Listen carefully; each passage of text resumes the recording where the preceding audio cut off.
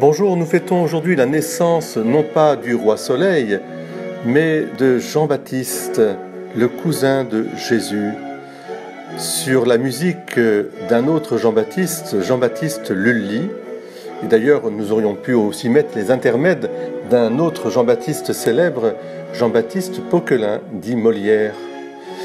Le prénom de Jean le Baptiste ou Jean-Baptiste est un prénom béni parce que il nous rappelle cette extraordinaire euh, aventure de l'humanité euh, à laquelle euh, Dieu nous convie, car Dieu a voulu venir à nous en, nous aimant, en nous sauvant, en nous relevant, en nous bénissant aussi, en choisissant des instruments aussi faibles et fragiles que les hommes et les femmes de tout temps. C'est vrai que le destin de Jean-Baptiste est tout à fait exceptionnel. Il est euh, conçu euh, d'une manière déjà providentielle, alors que ses parents, Élisabeth et Zacharie, sont d'un âge avancé.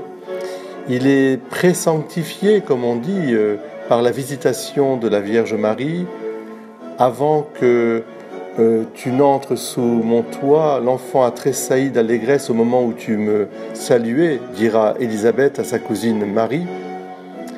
Et puis, euh, nous ne savons plus grand-chose de Jean-Baptiste, mais nous le retrouvons au début de, de l'histoire de la vie publique du Christ, alors qu'il prêche et il ramène les populations de son temps euh, vers une pratique juste, c'est-à-dire une, justice du fond du cœur pour euh, éviter le mal et faire le bien dans ses activités de tous les jours. La naissance de Jean-Baptiste, c'est la naissance euh, de, de cette amitié, de cet amour de Dieu pour tous les enfants des hommes. Le, compliment que Jésus adresse à Jean le Baptiste en disant qu'il n'y a pas eu d'enfant des hommes, il n'y a pas eu de plus grand, nous le retrouvons euh, à chaque baptême, à chaque euh, naissance et à chaque baptême. En toi, j'ai mis tout, mon amour, toute ma complaisance.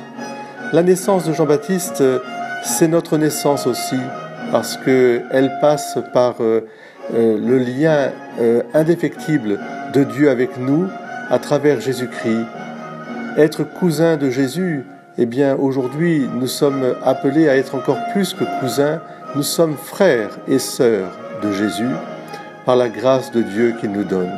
Et Jean-Baptiste le savait, lui qui euh, volontiers euh, a guidé ses propres disciples vers Jésus, disant que il faut que Jésus croisse et que moi je diminue.